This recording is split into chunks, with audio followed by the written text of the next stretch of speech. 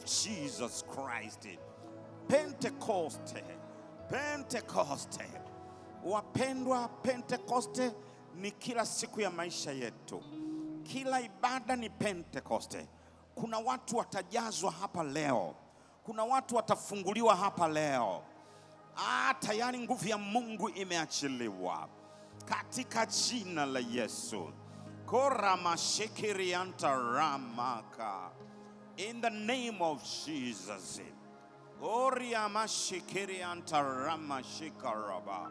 Katika jina la Yesu.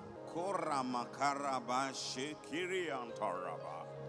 Okiriamaraba shikire Oramarabashirianta My God, my God, my God, katika jina la Yesu, katika jina la Yesu, ah, katika jina la Yesu, tunaachilia uweza, tunaachilia mamlaka. Kuna watu wanajazwa katika jina la Yesu, waliojazwa wanafurika. Twende mbele za Bwana. Kipimo cha kiroho ni masaa mangapi unakaa mbele za Bwana? Oh yes.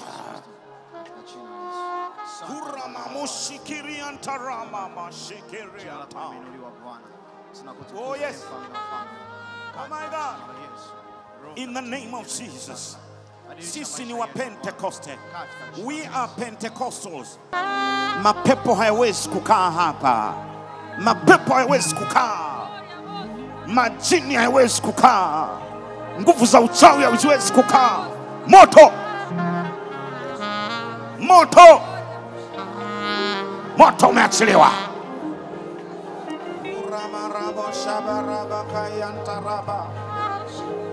In the name of Jesus.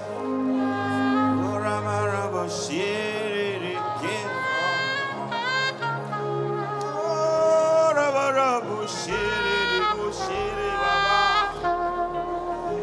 there is joy in the Holy Spirit.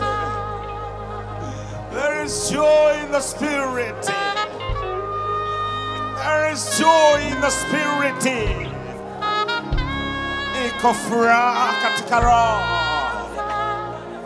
Mashikere mashandara.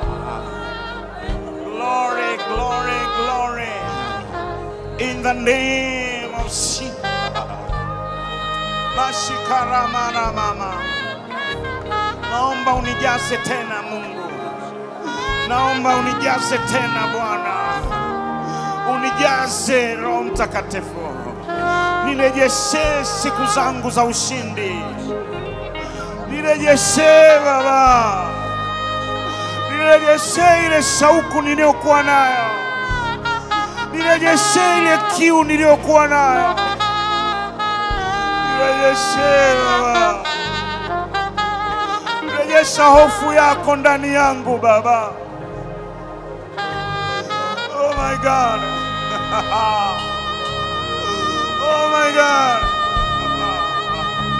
Oh my God. Oh my God. My Jesus. Yesu wangu. Roho Mtakatifu, bila wewe mimi siwezi. Nisaidie. Siku ninakata tamaa, kuna siku ninavunjika moyo, ninachoka, ninalemewa. Bila wewe siwezi, Roho Mtakatifu,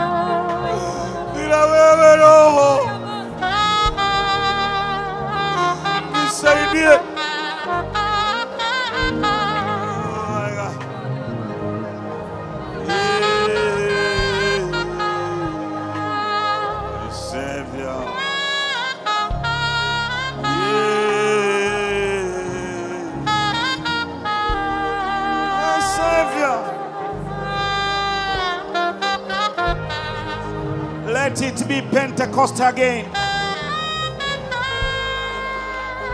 Let me Pentecost again. Oh my God.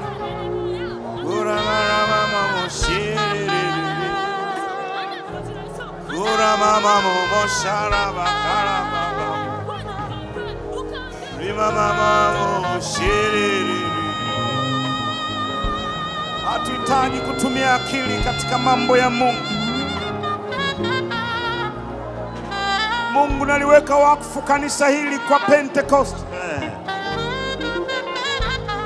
Naliweka wakfu kwako Roho Mtakatifu. Maadui ni wengi, wanaotusagia meno ni wengi, lakini Roho oh, Holy Spirit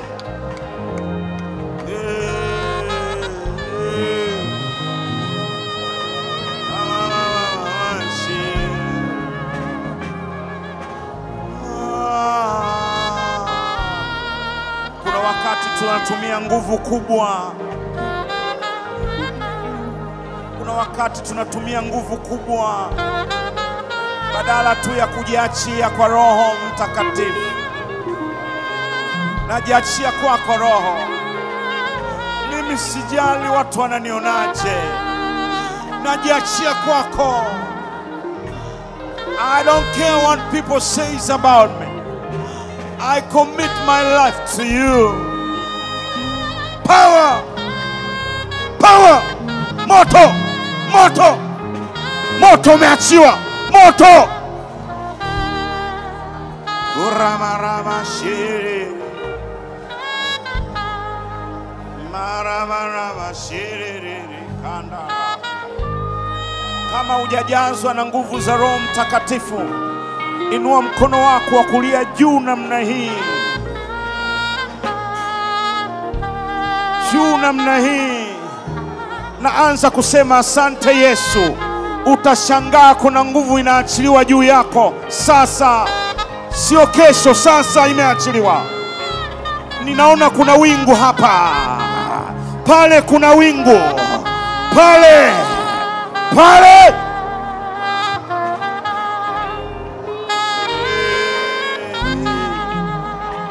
My God.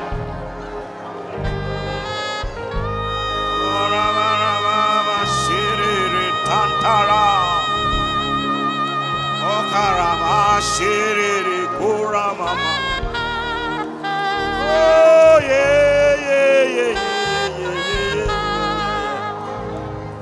Wewe uhitaji nabii, jitabirie mambo mema, jitabirie sasa, jitabirie, jitamkie mambo mema.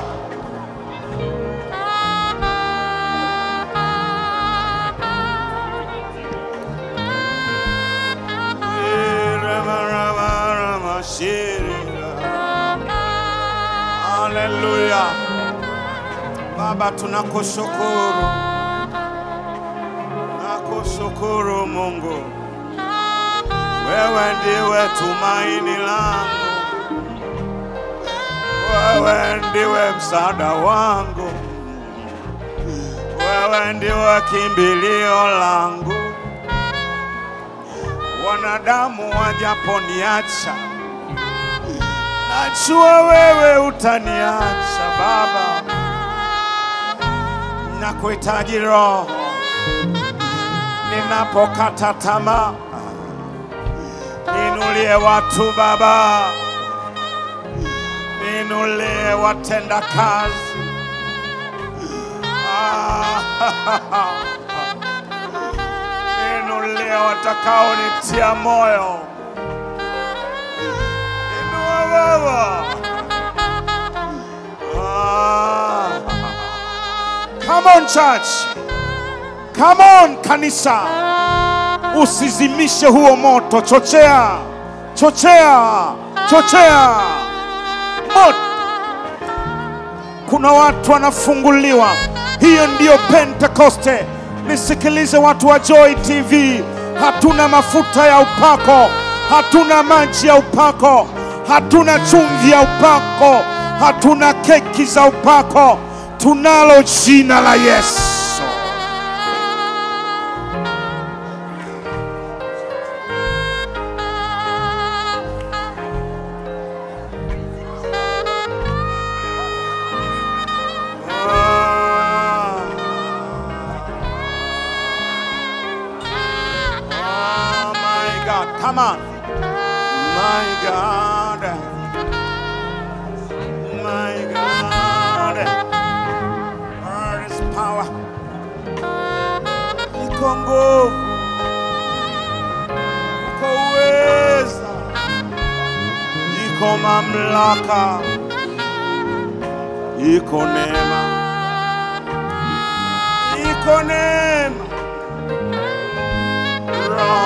Unatosha.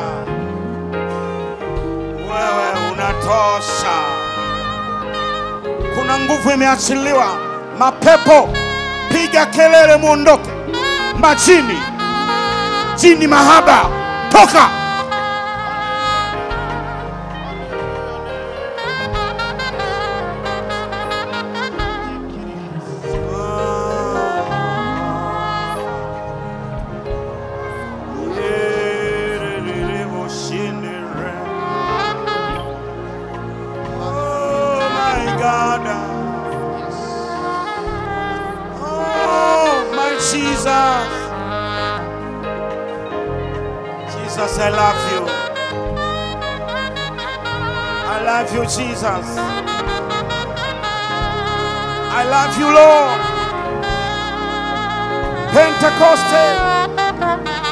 About power.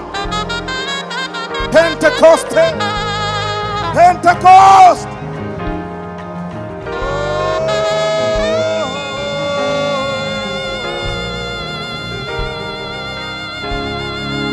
Oh my God.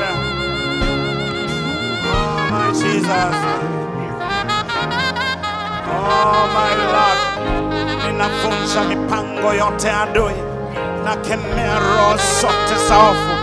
Toka katika jina la Yesu. Familia yangu imefunikwa kwa damu ya Yesu. Kila anayeishi chini ya dari amefunikwa. Tumefunikwa kwa damu ya Yesu. Tumefunikwa kwa damu ya Yesu. We are covered by the blood of Jesus. Tumefunikwa kwa damu ya Yesu. The name of Jesus. Ninaachilia uweza wa Mungu. Ninaachilia nguvu ya Mungu.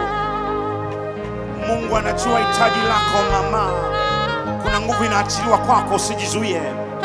Tayari, tayari, tayari. Oh my God, toka, toka, panda, uondoke, panda. Tayari. Haya, chini, chini, toka, panda kwenye kifua chake. Kuna operesheni inaendelea. Sihitaji watazamaji, nahitaji waombaji.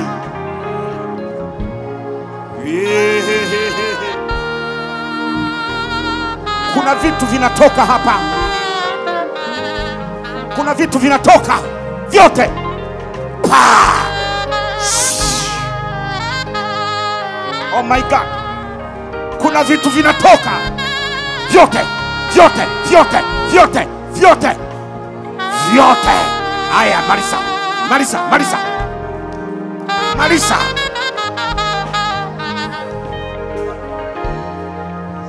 Yeah. Uramasha. Nataka inua mikono yako.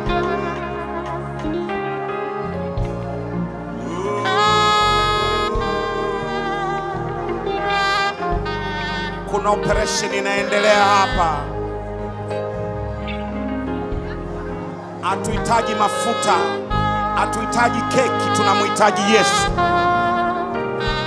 Kuna watu wanafunguliwa hapa.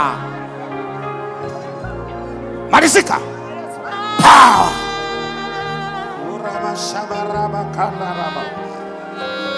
Kuna operation inaendelea. Tatizo, kuna watu wanamaliza ibada. Usishughulike na mambo ya mtu, shughulika na mambo yako. Huku kuna wahudumu wanaendelea. Wewe zama, zama, zama, zama, zama, zama.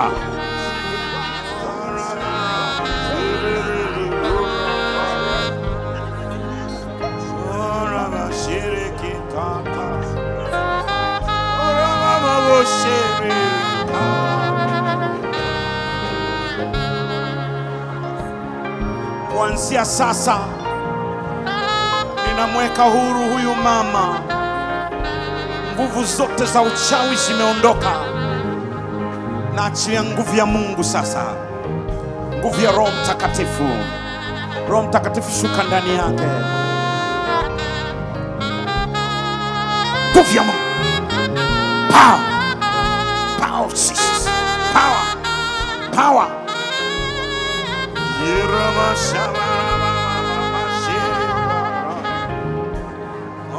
God.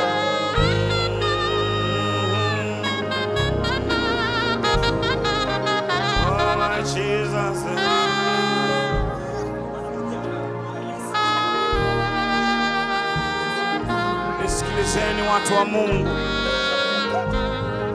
nisikilizeni. Maombi ni vita. Hakuna kitu shetani anachukia kama maombi. Tunaweza tukawa na tamasha tukaimba masaa mengi, lakini inapokuja kwenye maombi ni vita. Ndio maana leo hatuimbi, tunaomba. Hebu simama, fanya vita katika ulimwengu wa kiroho. Shetani ameshambulia familia yako na wewe umenyamaza kimya. Ameshambulia kazi yako, ameshambulia ndoa yako na umenyamaza kimya. Leo ni siku ya ukombozi. Fanya vita katika ulimwengu wa kiroho. Natamani dakika zilizobakia, kemea, sambaratisha, vunja, haribu in the name of Jesus. Na tunapofanya vita hatukai chini. Wakati wa vita tunasimama, tuna move, tunamkunjia ngumi shetani ya kwamba enough is enough.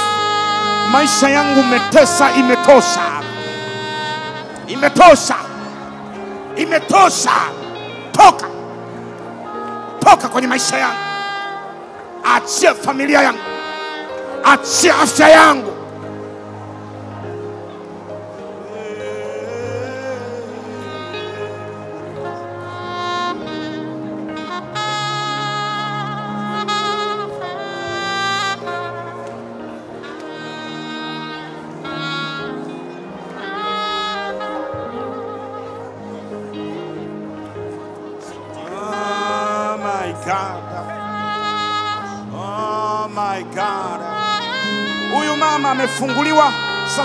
Amejazwa na nguvu za Roho Mtakatifu. Hiyo ndio pentekoste my friend.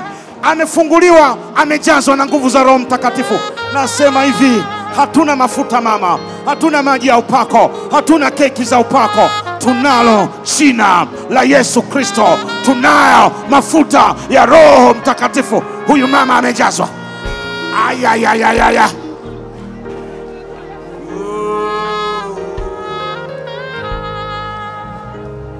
Mlete hapa kuanzia sasa,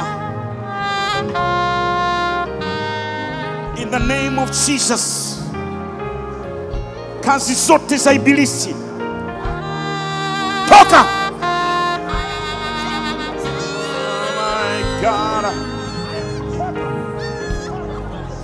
Oh, lazima funguliwe leo huyu.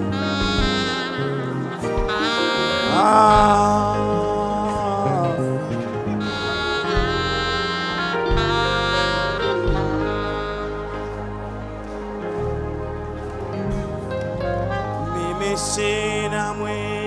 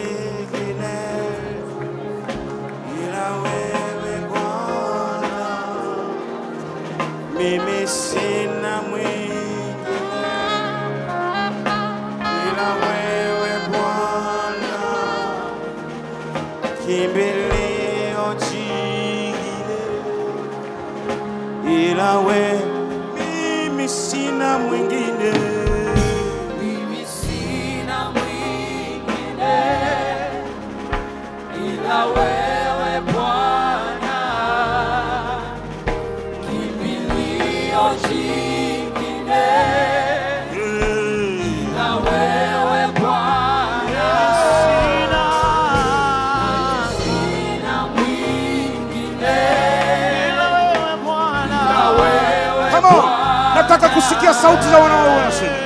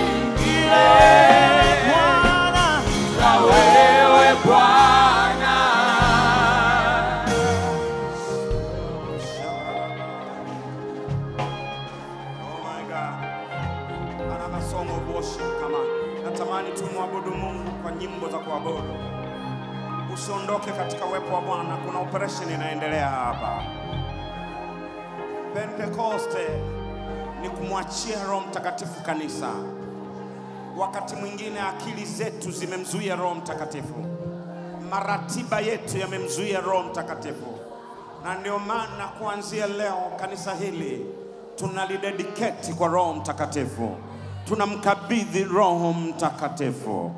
Tumechoka kutumia nguvu nyingi, tumechoka kutumia akili nyingi, tunamkabidhi Roho Mtakatifu, tunaliweka wakfu kwa Roho Mtakatifu. In fact tunalirejesha kwake maana ni lake. So nataka tumwabudu katika namna ambayo hatujawahi kumwabudu. Oh, shuka tena.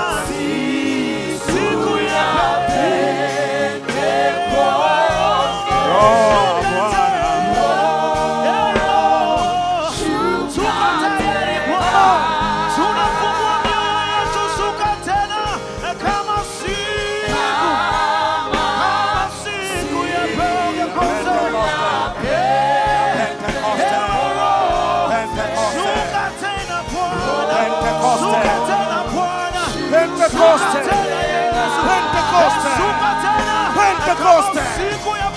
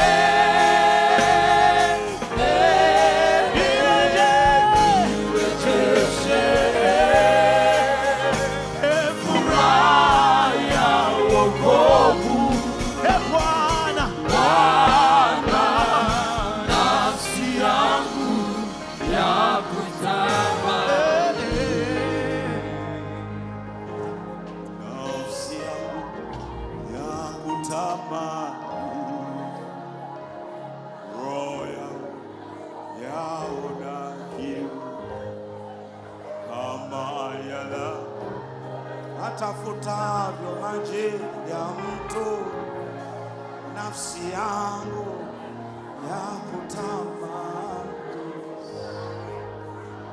nafsi yangu yakutamani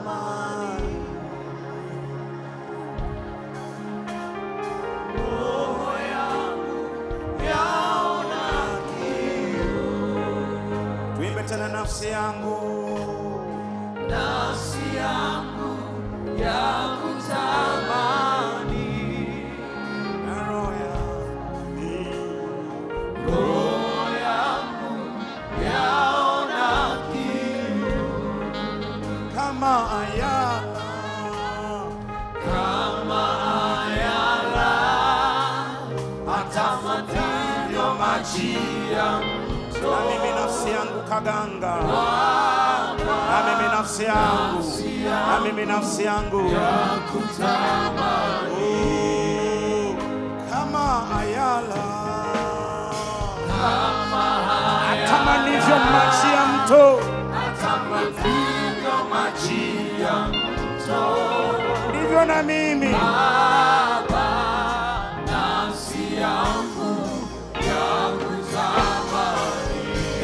Angalia moja, mbili, tatu, nataka kelele za shangwe.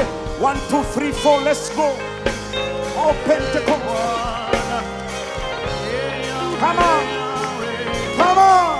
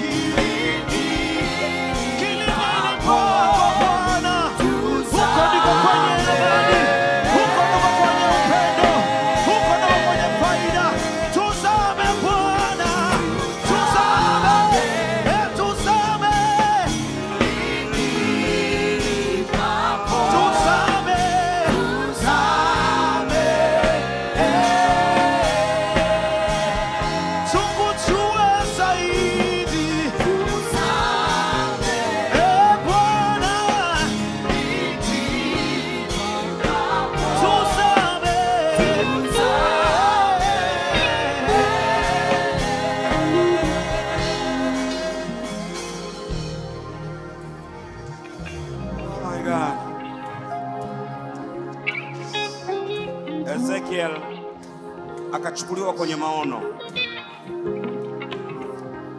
Mungu akamwingiza kwenye hekalu na akamwambia, fungua macho yako uone. Na ghafla akaona mto unatoka madhabahuni, na malaika akamwambia, chukua kipimo upime.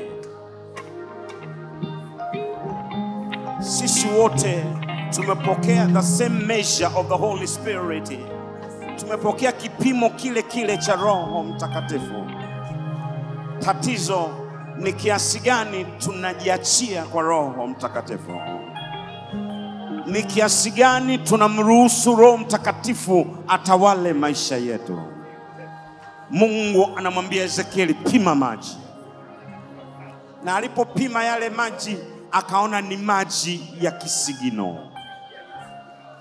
Kwa wale tuliokaa vijijini, maji ya kisigino unapovuka mto, maana yake wewe bado uko kwenye udhibiti, you are still in control.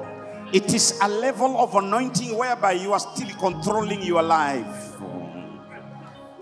Roho Mtakatifu ameingia ndani yako, lakini akikwambia utoe, huwezi kutoa kwa sababu una control maisha yako. Akikwambia twende kanisani, wewe ndio unaamua lini uende na lini usiende. Kwa sababu gani? Wewe ndiwe una control. Akisema ufunge na kuomba, huwezi kumwitikia kwa sababu wewe ndio unaamua lini ufunge, lini usifunge.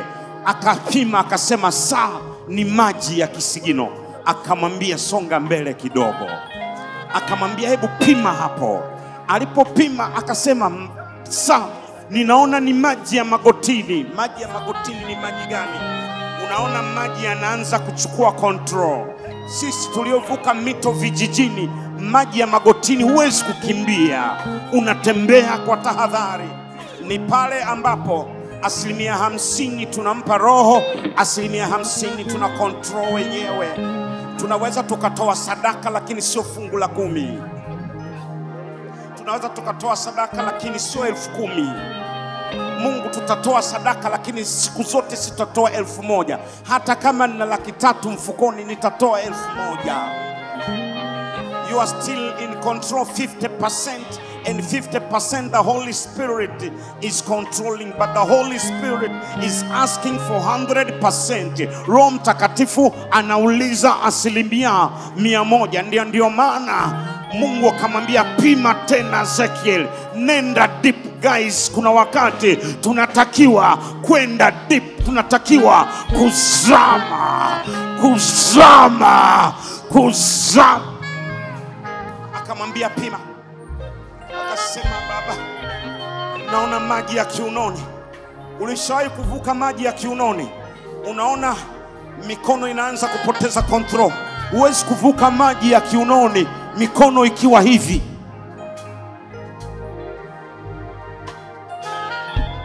Wakati unaona maji yanaanza kuteki control, ndio pale asilimia sabini, asilimia themanini Roho Mtakatifu, lakini asilimia ishirini bado unayo. Ikifikia kujidhabiu hasa, asilimia ishirini hu- huwezi kujidhabiu bado unajihurumia. Mambo ya dunia dunia bado yana control. Mungu akamwambia pima tena, akamwambia saa sasa ni maji ya kuzama, ni maji ya kuogelea. Yesu anamwambia yule mama ya kwamba ukiniamini mimi kuna maji ya uzima, ana maana ya wokovu, lakini baadaye anawaambia wale mitume, anasema kwa kuwa mmeniamini kuna mito itabubujika kutoka ndani yenu, mito itatoka ndani yenu, mito. Jamani, haleluya! Hapo ndipo ambapo tunatakiwa tufike, pale ambapo Roho Mtakatifu ana control maisha yako asilimia mia moja. Huwezi tena kumzuilia muda wako kwa sababu ana control asilimia mia moja. Huwezi tena kuzuia sehemu ya fedha yako kwa sababu ana control asilimia mia moja.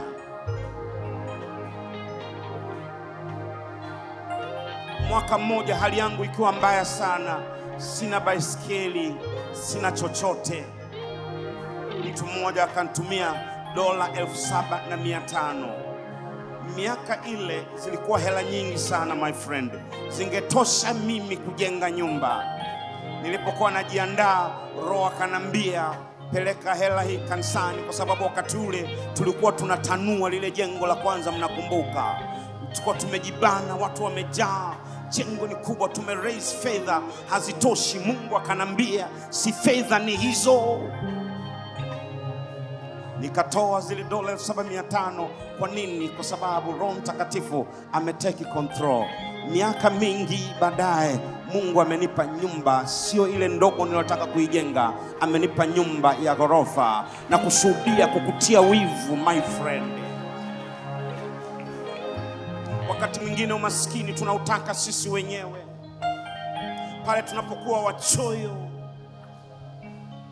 sijawahi kumzuilia kitu ambacho Mungu alisema anahitaji. Inawezekana sijafikia asilimia mia moja, lakini angalau tisini na nimemwachia Roho Mtakatifu. Na ndio maana wakati nikiwa kwenye mafanikio makubwa sana jeshini, natakiwa kupanda renki ya juu sana, natakiwa kwenda kusoma nje. At that time Mungu akanambia, nakuita unitumikie miezi mitatu waliniwekea mshahara kunishawishi nirudi, nikasema no. Kutoka kwenye nyumba nzima nikaenda kupanga chumba kimoja kwa hani. Why? Because I believe the Holy Spirit is in control. Roho Mtakatifu achukue nafasi kwenye maisha yako in the mighty name of Jesus. Yeah. Tuzame. Unaweza ukakaa sasa. Tuzame, tuzame.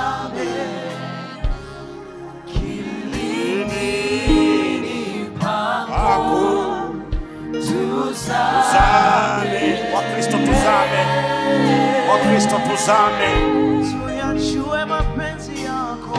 Amen.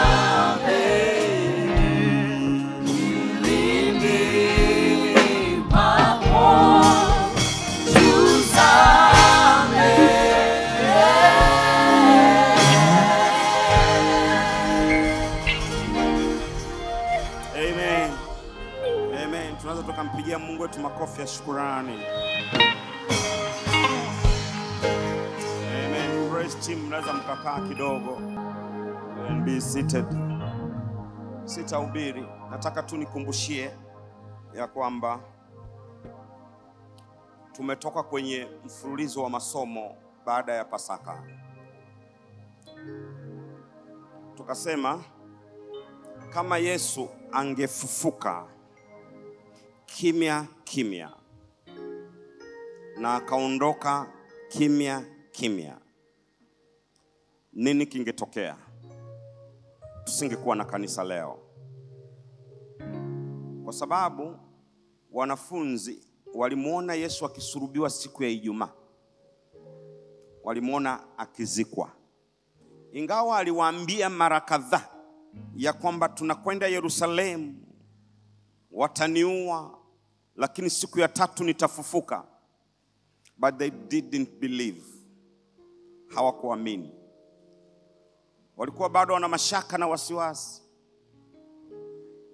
na ndio maana Matendo ya Mitume moja tatu inasema wale aliowadhihirishia nafsi yake kwa dalili nyingi. Kwenye tafsiri ya Kiingereza inasema he appeared to them with many convincing proofs that he is alive. Aliwadhihirishia kwa ushahidi mwingi ya kwamba yu hai. Ndugu zangu, ninalo tangazo ambalo lilitangazwa miaka elfu mbili iliyopita. Naomba nilirudie leo ya kwamba Yesu yu hai. Nilitarajia makofi makubwa sana. Yu hai, he is alive.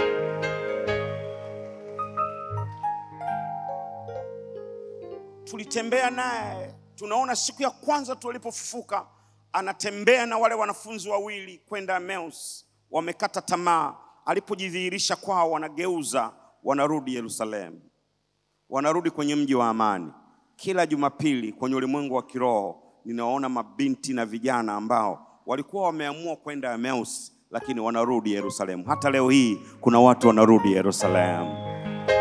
Jamani, amina, watu wa Bwana. Ulikuwa umefikiria kufanya uamuzi mbaya, unakuja Jumapili unakutana na nguvu ya Mungu, unasema pamoja na mambo magumu yanayoendelea, bado nitaendelea kusonga mbele na wokovu wangu, bado nitaendelea na Yesu wangu. Na ninasema hivi, kuna siku Mungu atajibu maombi yako. Nasema kuna siku Mungu atajibu maombi yako. Hivi ninaongea na watu wanaoamini kweli. Nasema hivi, kuna siku Mungu atajibu maombi yako na hiyo siku inakuja kwa haraka sana. Tunamwona Yesu anawatokea wanafunzi waliokuwa chumba cha juu wamejifungia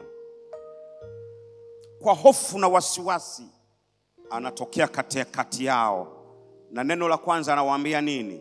Shalom. Na ninasikia hiyo sauti hata leo pokea amani ya Mungu in the name of Jesus. Nasema pokea amani ya Mungu, pokea amani ya Mungu. Ukiwa na amani wewe na Mungu, utakuwa na amani na watu wengine. Watu walioumizwa mioyoni wana tabia ya kuumiza wengine, na ndio maana amani lazima ianzie ndani ya moyo wako. Pokea amani. shalomu mtu wa Mungu. Nasema shalomu mtu wa Mungu. Kwa nini umekunja uso? Kwa nini una hasira? Kwa nini una maumivu? Tabasamu mbele za Bwana. Mungu anakuambia shalom, na iwe amani mahali pako pa kazi, iwe amani nyumbani, iwe amani kwenye biashara yako. Nataka kusikia watu wanaoamini waseme ah. Piga kelele, sema haleluya anawatokea wanafunzi wamevua usiku kucha. Inawezekana umefanya biashara muda mrefu, inawezekana umesumbuka muda mrefu, na unafikia mahali unataka kukata tamaa. Kuna siku utasikia sauti ya huyu mwanaume anakwambia, tweka nyavu zako kilindini. Ah! Jamani, amina, watu wa Bwana. Na mimi ninaona wakati huo unakuja kwa haraka sana. Jamani, amina, watu wa Bwana.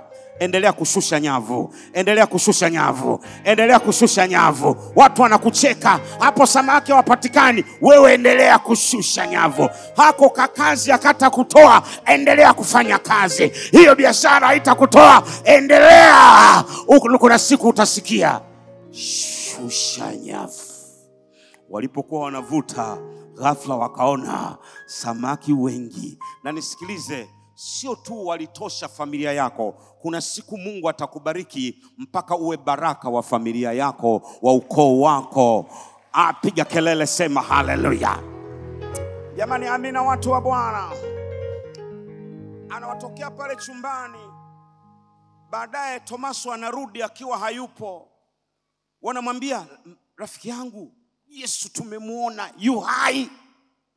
Wanasema, Tomaso anasema mimi siamini bwana mimi siamini mpaka nione vidole mikono yake, nione na ubavu wake, na niweke kidole kabisa nione.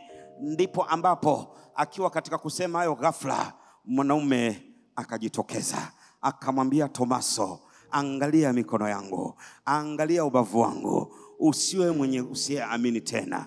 Mpaka leo tunaendelea kumhukumu ya kwamba Tomaso ni mtu wa wasiwasi. Hata watu wasioamini tunawaita akina Tomaso, lakini my friend, wewe bakia kuwa Tomaso. Tomaso hakubakia kuwa Tomaso. Alipokutana na Yesu Kristo akapiga magoti, alisema kwa Kiingereza, my Lord, my master, Bwana wangu, Bwana wangu na Mungu wangu. Na aliposema hivyo akawa mwenye kuamini kuanzia pale. Historia inasema alisurubiwa akiwa India kwa sababu alikwenda kuhubiri kabila ambayo ilikuwa ngumu sana, na baada ya yeye kufa kabila ile wengi waliokoka kupitia damu ya Tomaso. Jamani, amina watu wa Bwana. Jamani, amina watu wa Bwana. Kuna mtu mmoja ananielewa, sema amina. Mara ya mwisho anawatokea pale chumba cha juu, anawaambia mtapokea nguvu akisha kuajiria juu yenu roho mtakatifu. Tukasema hivi revelation comes with power and comes with responsibility. Ufunuo unatupa nguvu lakini pia unatupa majukumu. Mtapokea nguvu akisha kuajiria juu yenu roho mtakatifu ili mnene kwa lugha. Hapana. Mtapokea nguvu akisha kuajiria juu yenu roho mtakatifu ili muwe mashahidi. Muwe mashahidi kuanzia yerusalemu pale unapoishi watu wanatakiwa wamwone yesu kristo. Pale unapofanya kazi watu wanatakiwa wamwone yesu kristo. Kwenye biashara yako watu wanatakiwa wamwone yesu kristo. Kuna mtu mmoja ananielewa sema amina sema amina.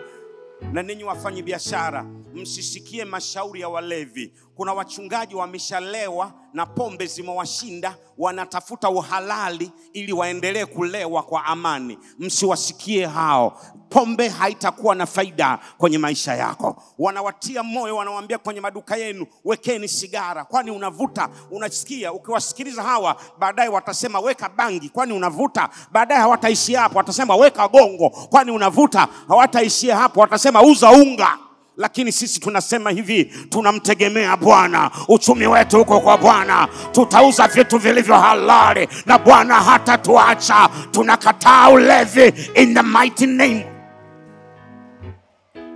Ah, piga kelele sema amina. Hawasomi maandiko yanayosema ya kwamba matendo ya mwili ni nini? Uasherati. Alafu anataja ulevi unatajwa mara mbili kwenye mstari wa kumi. Alafu paulo anasema nawaonya mapema. Walevi walevi walevi sehemu yao ni kwenye ziwa la moto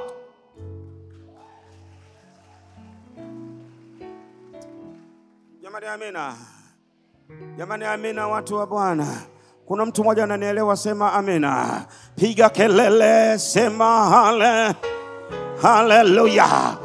Unajua mwanadamu likimshinda jambo huwa anatafuta justification. Mmoja alimza mchungaji, nikamwambia wewe lewa tu kwa amani, usitake kutulewesha na sisi, wewe kunywa, usiuze sigara tu, uza na gongo, uza na unga alafu utakutana na serikali. Yaani ukiona mpaka kitu serikali inasema ni kibaya ujue ni kibaya. Halafu sikiliza, Roho Mtakatifu ni very smart. Unajua kuna watu wanasema mbona sigara haikuandikwa, mbona hii haikuandikwa. Roho Mtakatifu hakosei my friend. Roho Mtakatifu ni Mungu. Anamwambiaje Paulo? Anasema ongeza na hii, anasema na mambo yafananayo na hayo.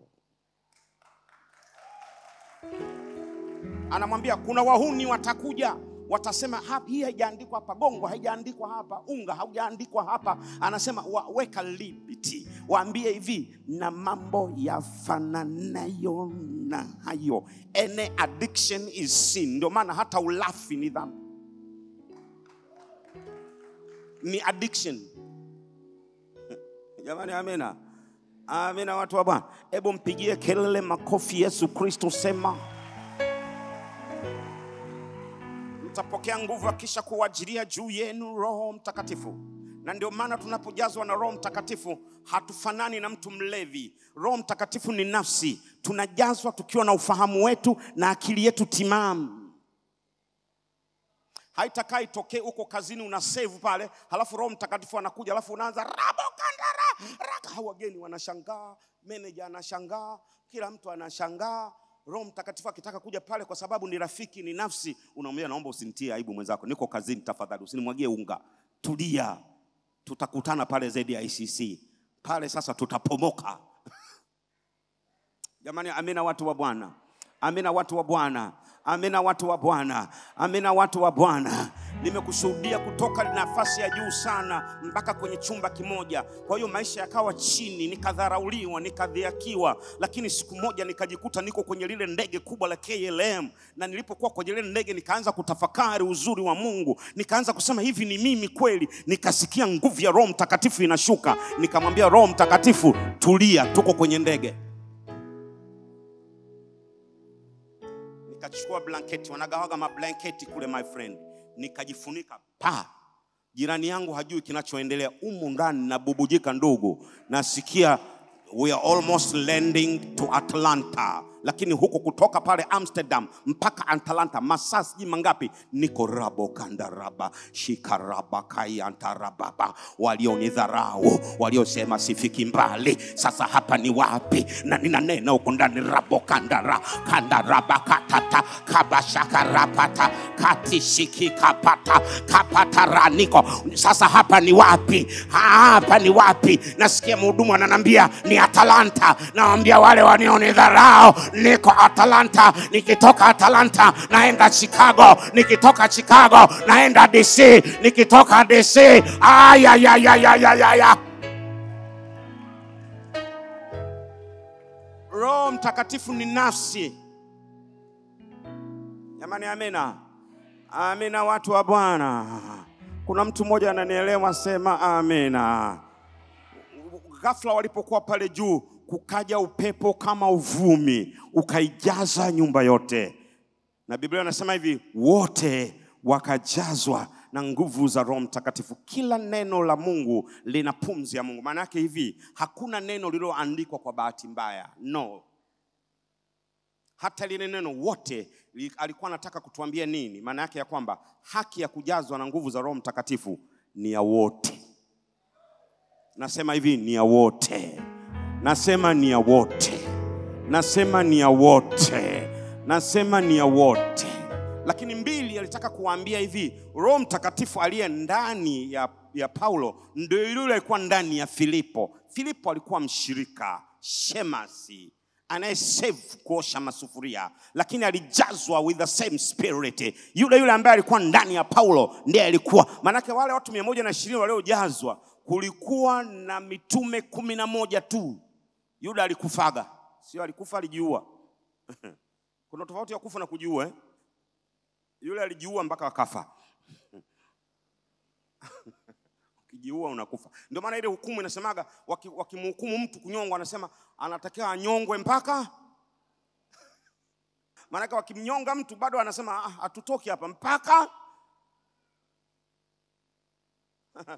kwa hiyo alijiua mpaka wakafa. Kwa hiyo walibakia kumi na moja, lakini waliojazwa walikuwa mia moja ishirini. Maana yake ni nini? Maana yake ni kwamba Roho alikuwa ni yule yule ambaye aliingia kwa Petro, aliingia kwa nane. Maana yake ni kwamba Roho aliye ndani yangu ndio huyo huyo aliye ndani yako. Roho aliye ndani yako wewe ndio huyo huyo aliye ndani yangu. Yesu niliyempokea mimi ndio hakunaga Yesu wa mapasta, wa mabishop, Yesu wa maaskofu, Yesu wa, wa mitume, Yesu wa manabii. Wa, wa, kuna wachungaji wanawadanganya siku hizi, wanataka kufanya huduma kama za kiganga za kienyeji. Mimi ninajua, wewe ujui Come on my friend, niko hapa nikusaidie wewe ujue kile ambacho wewe pengine unapaswa kukijua. Ndio maana Mungu amewafunulia watu wachache, akasumbuka nao, akakaa nao, akawafundisha ili tuwafundishe kushika kushika yote. Jamani, amina watu wa Bwana, amina watu wa Bwana. Ndio maana Elisha alipoliona joo la Eliya akasema hivi, natamani hilo joho. Eliya akamwangalia akamwambia, dogo, umeomba jambo kubwa sana, kwa sababu mimi siye ninayetoaga ili joho. Hapana, joho lile lilikuwa ni ishara ya Roho Mtakatifu. Eliya alikuwa anazungumza kama picha ya Yesu Kristo, kwa sababu kama ambavyo Yesu alinyakuliwa ndivyo ambavyo Eliya naye alinyakuliwa. Kama ambavyo Elisha alimfuata Eliya ndivyo ambavyo sisi tunamfuata Yesu Kristo. Mimi sijakuita unifuate mimi, sijakuita uniamini mimi. Ninasema hivi, njoo tumfuate Yesu, njoo tumwamini Yesu Kristo, njoo Sijawahi kukwambia njoo nikupe nguvu, njoo nikupe upako, nitakudanganya. Sina my friend. Pipi ninazo ninaweza nikawagawia, lakini upako unatoka juu kwa Baba, na ndio maana Eliya anamwambia Elisha, ukiniona. Lile joho lilitoka wapi? Eliya alipoenda na akamwambia Baba, kama ambavyo Yesu anasema, ninakwenda kwa Baba na nitamwambia Baba Ah, mwachilie Roho Mtakatifu. Eliya anamwambia Elisha, acha niende, ukiniona umeliona. Alipoenda joo likaachiwa kutoka wapi? Juu. Roho ameachiwa kutoka wapi? Jamani, amina watu wa Bwana, amina watu wa Bwana. Roho Mtakatifu akija, jambo la kwanza, jambo la kwanza tumesema anatupa jukumu unalo jukumu la kuwaambia watu habari za Yesu. Unaweza ukawaambia kwa maneno, kama hujajaliwa kuongea, unaweza ukawaambia watu kwa maisha yako. Jamani, amena. Unaweza ukawaambia watu kwa nini jamani, maisha na ukweli. Ukweli, tukisema ukweli, maisha huwa yanaongea sana kuliko nini jamani, maneno. Maneno yakipishana na maisha yetu yanakuwa ni kikwazo kikubwa sana. Mungu atusaidie maneno yetu yaambatane na maisha yetu. Jamani, amina. Funika macho yako, sema Bwana Yesu, unifanye upya, unihuishe, unifanye chombo chombo chako cha kufaa katika jina la Yesu, amen. Ah, mpigie Yesu makofi. Asante sana.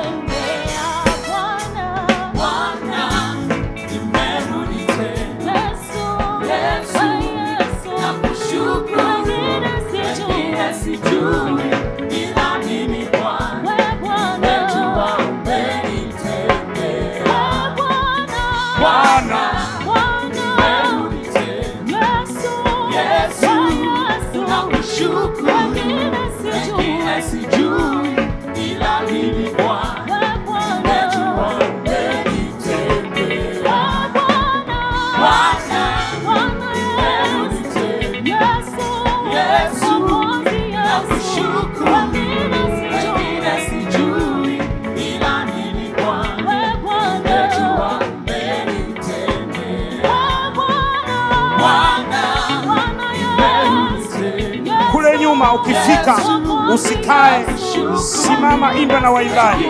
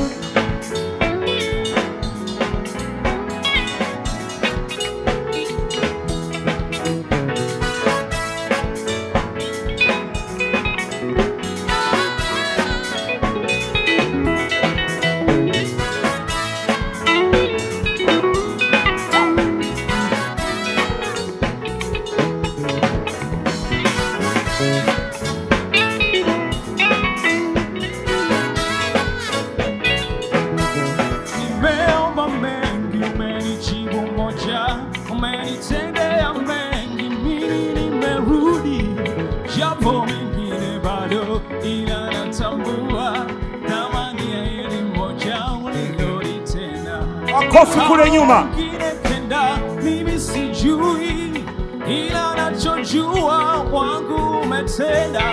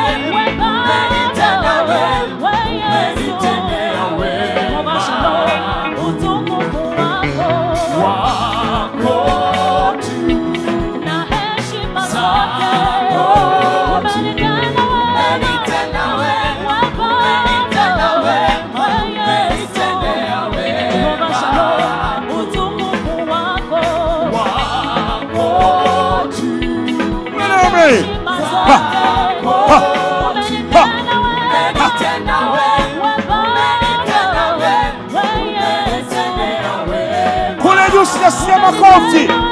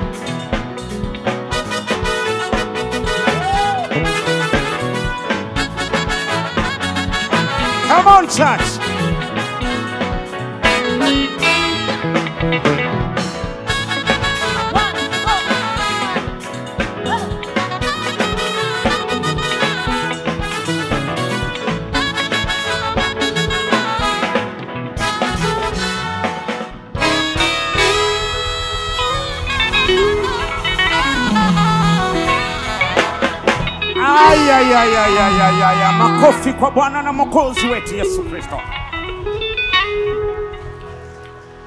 For those who are following us from Joy Gospel TV, wherever you are, this is Zanzibar. When it happens you're in Zanzibar, find the church at a place called Kariako. We have English service every Sunday, 7:30 to 9:30, and the Swahili service. May the Lord bless. Injili iendelee, tumpigie Mungu wetu makofi. Amen, amen. Bwana Yesu asifiwe. Ninaitwa Bishop Dickson D Kaganga. Mimi ni mchungaji mchungaji kiongozi wa kanisa la ZLCC Zanzibar International Christian Center, kanisa la Assemblies of God lililoko Kariakoo, lakini Kariakoo ya Zanzibar. Uh, ni moja kati ya makanisa makubwa, watu zaidi ya elfu moja na mia tano mahali pamoja. Tuna ibada mbili kila siku. Ibada ya kwanza ni ya Kiingereza, inaanza saa moja na nusu mapema sana na inaisha saa tatu na nusu and then ibada ya pili inaanza saa nne na nusu. Hii ibada ni kubwa ambayo uh, zaidi ya watu elfu moja na kwa sababu ibada ya kwanza ya Kiingereza tunazungumzia watu mia tatu mia nne lakini ibada ya pili inahudhuria watu elfu moja na zaidi. Kwa hiyo ni ibada kubwa kabisa ile ya pili ya Kiswahili. Ukiwa Zanzibar, tafadhali karibu sana uabudu pamoja na sisi. Leo Jumapili leo tulikuwa na siku ya Pentecost. Ninamshukuru Mungu sana sana, ninamrejeshea Mungu tukufu na heshima kwa sababu nimejifunza kitu. Ni- Nimekuwa mchungaji kwa muda mrefu na miaka mingi, lakini kila siku my friend, kazi ya Mungu haizoeleki. Ukizoea tu umekwenda na maji. Kwa hiyo kila siku mimi najifunza, na leo nimejifunza kwamba ni kama amenikumbusha, kwa sababu kazi mojawapo ya Roho Mtakatifu ni kutukumbusha kushika yote. Nime, nimejifunza kwamba wakati mwingine Roho Mtakatifu anakosa nafasi kwa ajili ya maprogramu yetu. Tunafikiri tuna akili sana ya kuwa na maratiba na maratiba na maratiba kwamba likitoka hili hiki likitoka hili hiki likitoka hili hiki. Leo tulipofika tu tukasema roho mtakatifu hili ni kanisa lako. Unataka tufanye nini? I'm telling you niliona watu wakifunguliwa. Yani bila tabu bila shida niliona watu wakipona. Yani watu walikuwa wanabebwa wanaletwa wanakamatwa huko huko na roho mtakatifu. Lakini tukiwa na maprogramu yetu sisi ndio unaanza ile ya kuchochea roho mtakatifu kama kama handle ya zamani. Zamani sisi tulikuwa tuna magari yale ya handle ya hivi. Unaanza chochea chochea jazwa jazwa jazwa jazwa jazwa. Lakini ukimpa nafasi roho mtakatifu kumbe mimi mwenzenu amenikumbusha roho mtakatifu. Unaona jinsi ambavyo watu wanajazwa automatically. Yaani roho mwenyewe anashuka anagusa watu kuna huko. Mwenye kupona anapona. Mwenye kufunguliwa anafunguliwa. Mwenye kujazwa roho mtakatifu anajazwa. Mwenye kupokea neno la faraja. Mwenye ku, ku, kupewa ile moyo wa toba. Kwa hiyo unakuta ya kwamba roho anamhudumia. Yule anamhudumia yule anam... kama apendavyo yeye mwenyewe. Mimi mwenzenu nimejifunza na nimekumbushwa tena ya kwamba roho mtakatifu anahitaji tumpe nafasi ya kutosha. Na wakati mwingine programs zetu program yetu maratiba yetu tunayoyaweka kwa akili zetu yana out roho mtakatifu. Tunaitwa tu wa Pentecoste, lakini ukweli sisi ndio tunaongoza sisi ndio ratiba tunapanga sisi na tukiamua na ratiba yetu ndio hiyo hiyo. Na unaona inakuwa sasa ni kama liturujia ambayo hatujaiandika tu kwenye karatasi. Lakini tukimpa nafasi roho mtakatifu unaona roho mtakatifu anavyofungua watu. Unamwona yule mama amekuja pale anatapika vitu vya ajabu. Sasa ingelikuwa ni kwenye kwenye ratiba yetu ungekuta tu tumeimba tumesifu tumechocheana na watu wanaondoka wanaondoka na shida zao. Roho mtakatifu ninakuheshimu sana. Ukiwa zanzibar usikose kuja kuabudu na sisi zicc kanisa liko kariako karibu na uwanja wa watoto mungu akubariki sana lakini fuatilia vipindi vyetu vya joy gospel television subscribe uh, YouTube channel yetu Joy Gospel TV na tafadhali share kwa watu wengi iwezekanavyo. Ninaamini kabisa ya kwamba utabarikiwa. Injili iendelee.